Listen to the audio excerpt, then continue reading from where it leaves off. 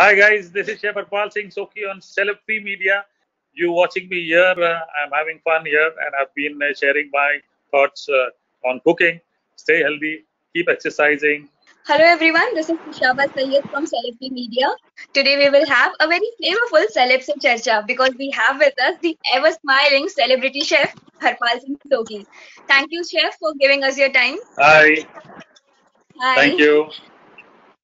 तो शेफ मेरा सबसे पहला सवाल आपसे ये है हम सब हम अपने घर पे लॉकडाउन है हमारे जो रोज़ाना काम है जो हम काम पे जाते हैं घर के भी काम हो सकते हैं जो भी हम सब घर पे ही लिमिटेड हो चुके हैं हमारी मूवमेंट काफ़ी लिमिटेड हो चुकी है हमारे ईटिंग हैबिट खाने के भी घर पे जो राशन है ये है सब बहुत ज़्यादा लिमिटेड हो चुका है। तो ऐसे में आप हेल्दी ईटिंग एडवाइस क्या दे सकते हैं आपके फैंस को और अपने देशवासियों को? एक्चुअली मेरे ख्याल से यू नो व्हाट जो सबसे इम्पोर्टेंट चीज़ uh, जो मुझे लगता है कि सिर्फ़ बाहर जाना जो है वो बंद हुआ है बाकी हम्म। uh, काम ऑनेस्टली देखूँ तो अगर uh, अगर आप घर पे देखें तो काम बढ़ गया ठीक है जी। Because you don't have your home help coming you don't have your drivers coming so you are all left to do yourself जो लोगों को आदतें पड़ी थी कि होम हेल्प आए तो काम करेंगे। तो अब परिवार पूरा मिल बांट के काम कर रहा है। तो सुबह का वक्त तो बहुत तेज़ी से गुजरता ऑनेस्टली और ये मैं सभी को बताऊँ कि अगर आप सब मिल के काम करते हैं तो सुबह का वक्त बहुत तेज़ी से गुजर जाता है। और मैं सबको ये भी एडवाइस करूँ, करता हूँ और कर रहा हूँ कि treat this lockdown just not as a relaxation period you get ready in the morning you keep preparing everything helping everything whatever you can do uh, at home जो आप के हिस्से में आप अपना काम कर सकते हैं आप बिल्कुल करिए। तो इस तरह से पूरा अगर परिवार मिल बांट के काम करता है तो काम थोड़ा सा आसान हो जाता है और वक्त भी गुजर जाता है। और रही बात ये है डेफिनेटली कि अ, सुबह जो रेगुलर रूटीन में हम सब थे जिम जाते थे या सड़कों पे जॉगिंग करते थे अब वो इंडोर एक्टिविटी कर रहे हैं। जैसे मैं खुद क्या करता हूँ जब मैं सुबह उठता हूँ तो मैं स्किपिंग करता हूँ, मैं स्टेप अप्स करता हूँ, अपने विंडो सिल पे स्टेप अप्स कर लेता हूँ, उसके बाद मैं थोड़ा योगा कर लेता हूँ बैक के लिए। तो I dedicate 45 minute specially for all these activities and ये सारी चीज़ें जो है ये मैं बिल्कुल रूटीन मैंने बना ली है। उसके बाद मैं बिल्कुल अपना काम करता हूँ, अपनी चाय बनाता हूँ या मेरे हिस्से में जो भी between me and my wife so I ask her if she needs any help in the kitchen कुछ कटिंग वगैरह करनी है तो वो मैं करके रख देता हूँ।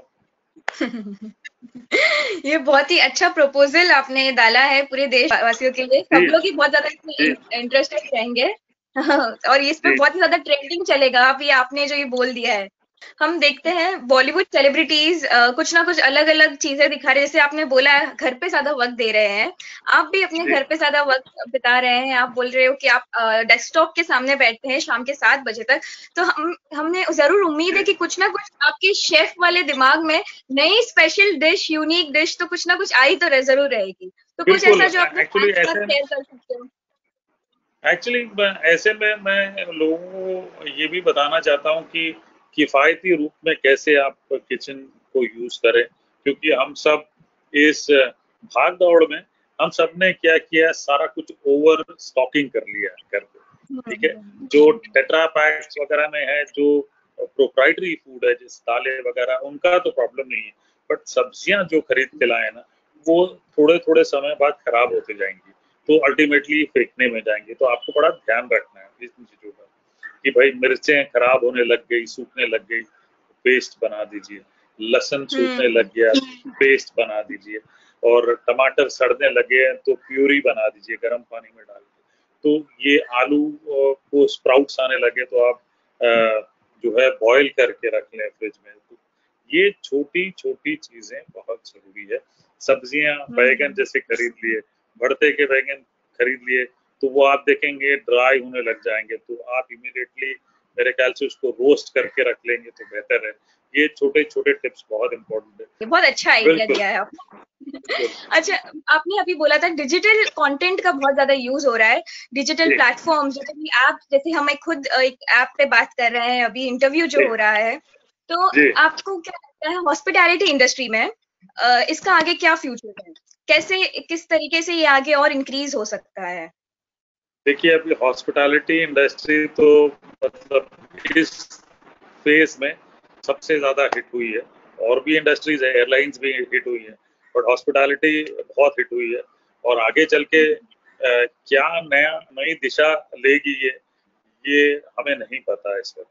बट डिजिटल कंटेंट कैसे कंज्यूम होगा ये डेफिनेटली बढ़ेगा क्योंकि लोग जो है कोशिश करेंगे कि घर पे खाना बनाएँगे, क्योंकि अब लोगों को आदत पड़ जा रही है धीरे धीरे कि उनको पता भी चल जा रहा है, आइडिया भी लग जा रहा है कि घर पे खाना बनाने के लिए कितना समय लगता है सही बात है।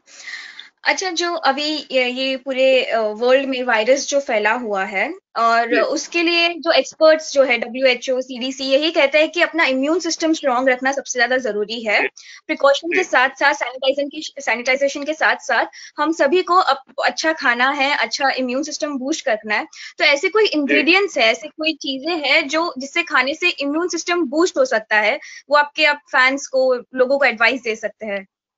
बिल्कुल ये मैं आपको बताऊँ कि जैसे ये वायरस ब्रेकडाउन हुआ तो सबको ये लगा कि हमें अपनी इम्यूनिटी ठीक करनी एक दिन में हम्म। नहीं होती। ये एक दिन में नहीं होती। Let's be clear and I been telling people through all my platforms that ये एक दिन वाला मामला नहीं है।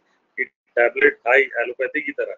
और वो एलोपैथी टैबलेट खाते हैं जब वो इराडिकेट नहीं होता। बीमारी। जब वो दब जाती है सप्रेस की जाती है और इवेंचुअली वो सप्रेस होने के बाद अपने आप सेटल हो जाती है। Immunity does not work immunity has to be build okay over a period of time. And you have to be constant with your diet with what you eat okay? You just can't mm. eat anything.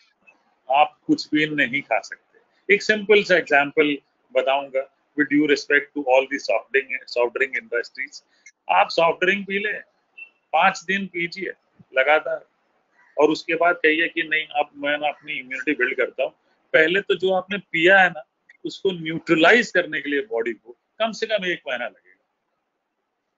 You to be very careful what you okay and that's what is very important तो immunity के बहुत सारे नुस्खे जो है ना हमारे दादी माँ पूर्वज छोड़ के गए हैं। जो हम धीरे धीरे भूल गए थे अब वापस सब याद करेंगे। सब लोग याद करेंगे अब कि भाई जाफरान वाला दूध पीना ज़रूरी है ठीक है आंवला खाना ज़रूरी है ठीक है? सब्ज़ियाँ खाना ज़रूरी है दाल रोटी खाना ज़रूरी है पालक खाना ही ज़रूरी है। और ये जो हिंदुस्तानी चीज़ें हैं ये बहुत ज़रूरी है। एक जैसे बड़ा सिंपल सी चीज़ है सीजनल फ्रूट्स हमारे पूर्वज कहते थे कि जो भी सीजनल है उसे उस सीज़न में खाएँ ताकि पूरा लाभ मिले बहुत बहुत ही सही बातें बताइए एकदम बेशब हो गई हूँ मैं। मतलब क्या मतलब बहुत ही आँखें खोल दी आपने। इतनी अच्छी अच्छी बातें बताइए थैंक यू सो मच आखिर में एक आपका जो एक है नमक शमक जो डायलॉग है वो अगर आप सुना देंगे सारे के सारे फैंस पे स्माइल आ जाएगा। आपको आपको वो बोलते ही देख के एकदम दिल खुश हो जाता है। प्लीज़ और मैंने हम्म, शुरुआत। इसलिए की थी कि कुछ ऐसा जुमला निकले जिससे लोगों के चेहरे पे खुशी आ जाए खाना बनाते वक्त अब तो मतलब आउट ऑफ़ कंपल्शन बना रहे और ये कंपल्शन कई लोगों को मतलब हॉबी शेफ्स बना देगा और और भी अच्छा है हमारे लिए कि लोग जितना घर पे खाना बनाएँगे